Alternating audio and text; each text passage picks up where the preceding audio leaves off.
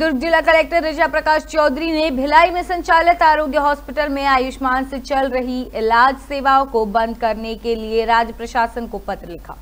दरअसल, पिछले कई महीनों से भिलाई नेहरू नगर में संचालित होने वाले आरोग्य अस्पताल की शिकायतें जिला प्रशासन को मिल रही थी, जिसको संज्ञान में लेने के बाद दुर्ग जिला नर्सिंग होम एक्ट नोडल अधिकारी अनिल शुक्ला ने अस्पताल का कई बार मौका मुआयना किया।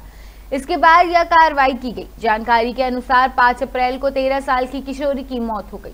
10 दिन के इलाज के बाद आयुष्मान कार्ड के नाम पर भारी फ़ीस वसूलने की शिकायत मिली।